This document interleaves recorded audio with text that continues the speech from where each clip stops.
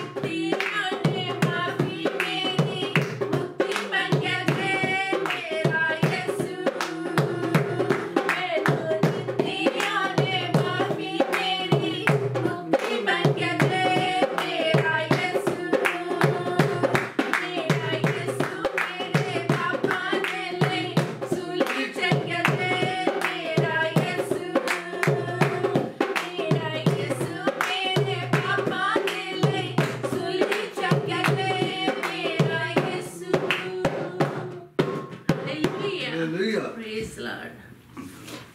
Hallelujah.